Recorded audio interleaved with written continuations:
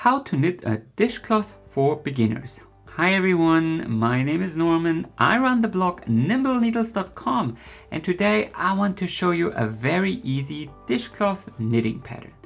The pattern is available for free on my blog and it's a lovely and very easy project for beginners. You only need to know how to knit the knit stitch, the purl stitch and of course a cast on and a bind off. It takes me less than an hour to finish one, so I feel it's perfect if you want to knit more than just one or you need a cute little gift. Let's dive right into it and let me show you how to knit a dishcloth.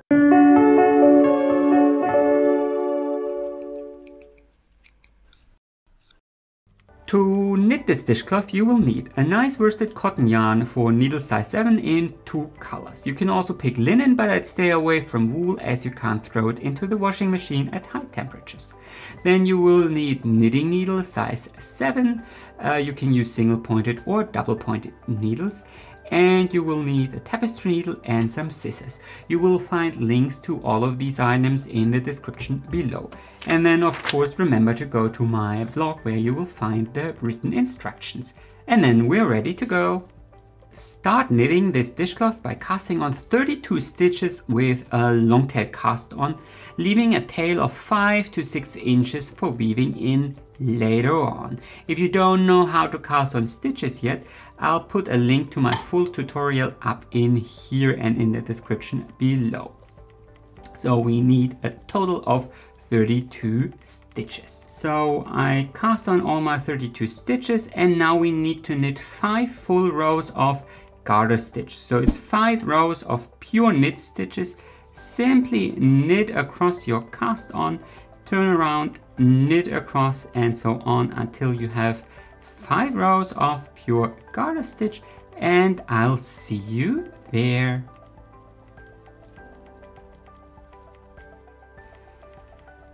So while I'm knitting the last row in garter stitch, we can talk about the repeat for the following rows.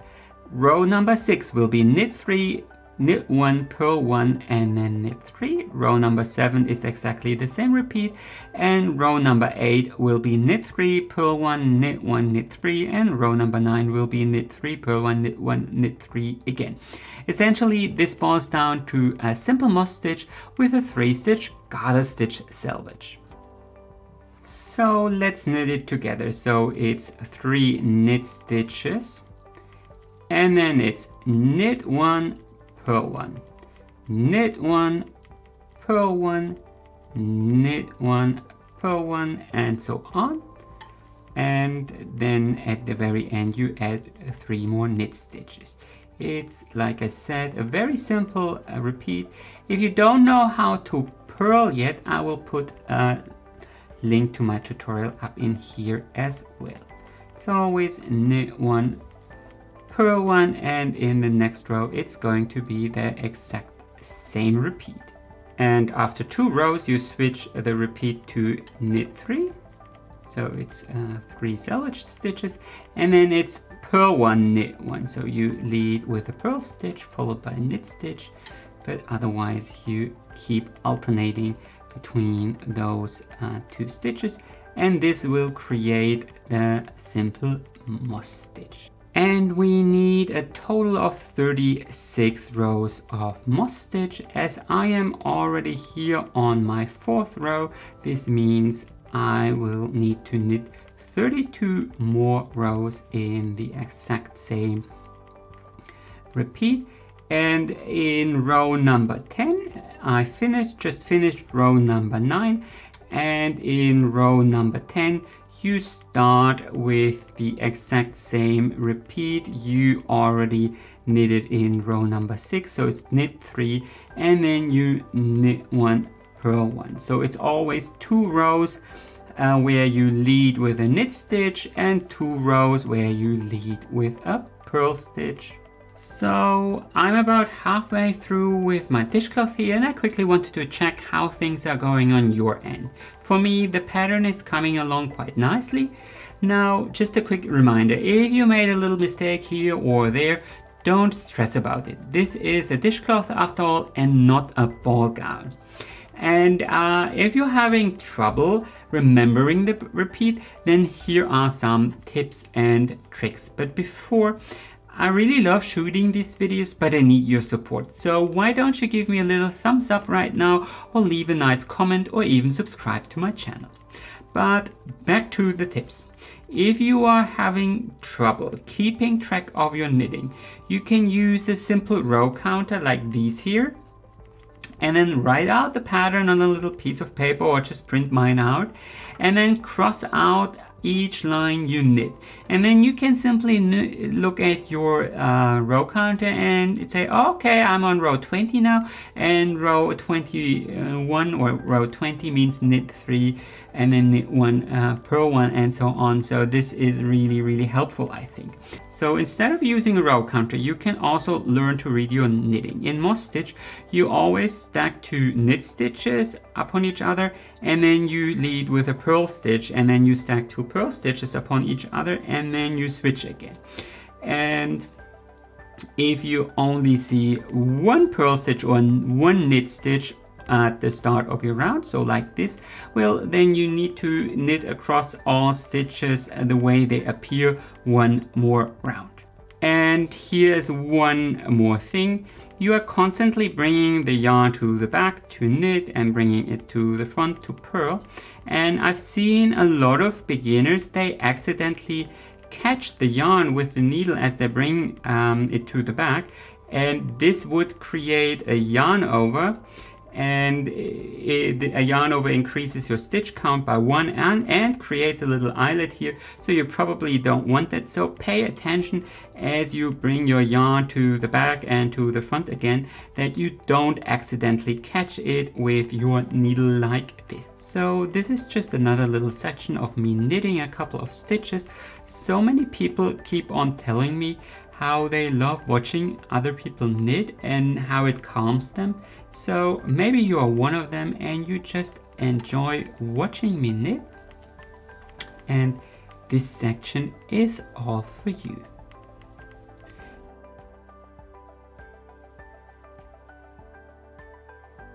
So I finished all those rows in Moss Stitch and now we need to add four more rows of garter stitch. So from row number 42 on, four rows of garter stitch. So again, it's knit stitches across all stitches and rows and four rows of it. It should be quite easy to finish and I'll see you there. So I finished knitting those four rows of garter stitch and now it's time to change colors. I'm using white here, but you could use any other kind of contrasting color as well. And if you just want to knit your dishcloth in one color, well then continue knitting with the same yarn. So I simply start knitting with the new yarn so no special joining method and you need to knit one row just one row of knit stitches in the new color. So simply knit across. So I finished knitting this one row and what you can do now is you can cut off um, the first color like this, just cut it off. And then while the stitches are still on the needle, I tie a simple knot. So I tie uh, very very simple knot to secure those stitches. Normally I'm not the biggest fan of knots but in this case I think it really helps to stabilize the yarn. And now turn your work around and bind off all stitches. If you don't know how to bind off yet, I'll put a link to my tutorial up in here and in the description below. But otherwise, simply bind off all stitches the normal way. No special bind off is required, just bind it off right away.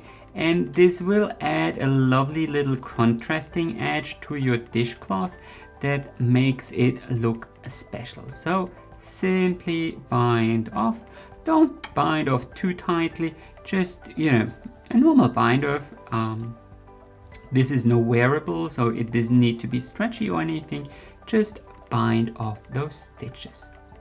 So I finished binding off all stitches and now there's only one stitch left. You could cut off the working yarn now and call it a day, but personally I prefer adding a little hanger to my dishcloth. So what I do is I cast on 18 stitches with a knitted cast on. Now don't be scared if you don't know how to do that. First of all, I'll put a link to my full tutorial up in here and in the description below. But you might as well just watch me because this technique is super, super simple. So here's what you have to do. Simply knit one knit stitch. And now don't drop that loop. Instead, lift that loop onto the left needle. And now knit another stitch and lift the loop onto the left needle. And now knit another stitch and so on until you have altogether 18 stitches and you might notice that I twist the stitches as I cast them on.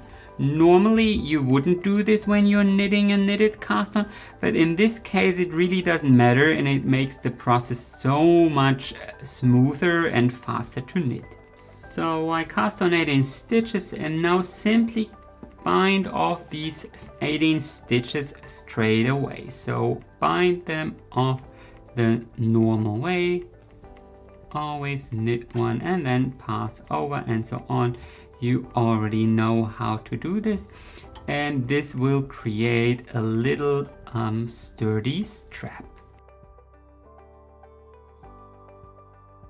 So I finished binding off all those 18 stitches and now you can simply cut the yarn here. Just cut it and pull out those this last stitch here and now that we finished knitting our little dishcloth uh, we need to weave in the tails.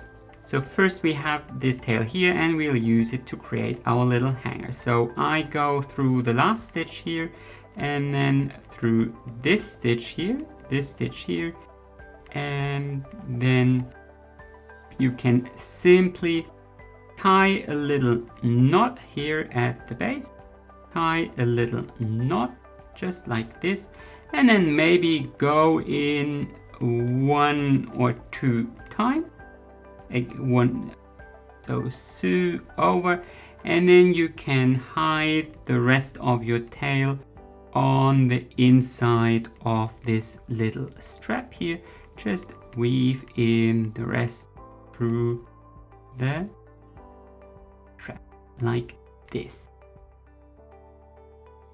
This. And then you can cut the tail. And there is already your little strap.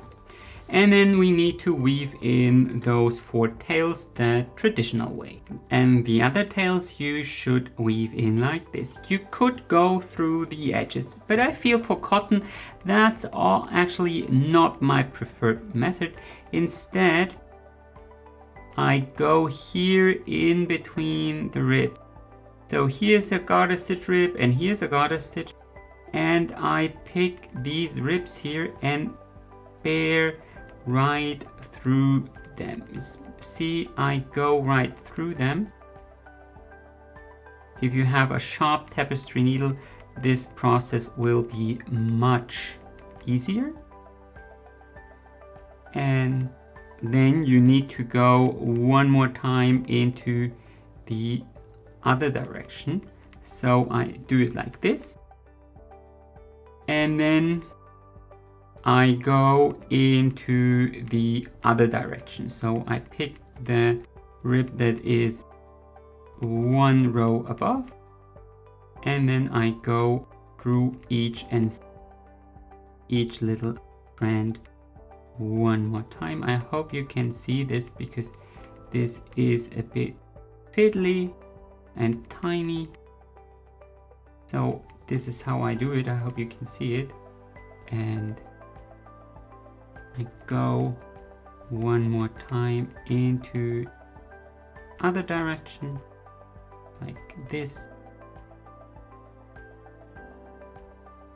this and then I cut off tail And I feel this method is both very invisible and quite secure.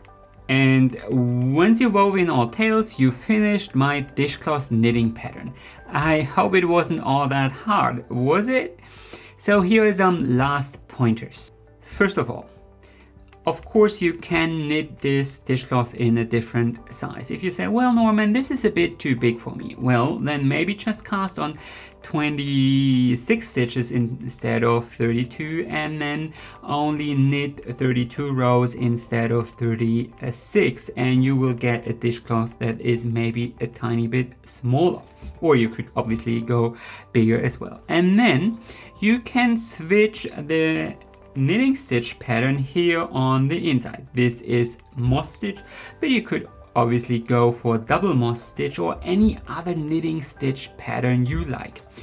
Here's one dishcloth I uh, finished using the star stitch and I think it looks extremely pr pretty. Sadly it isn't reversible but the front is extremely nice and I leave it up to you and your creativity to find a stitch you want to practice. Just make sure you pick something with a lot of structure and maybe not a lace pattern as you probably want to use your dishcloth and not only look at it.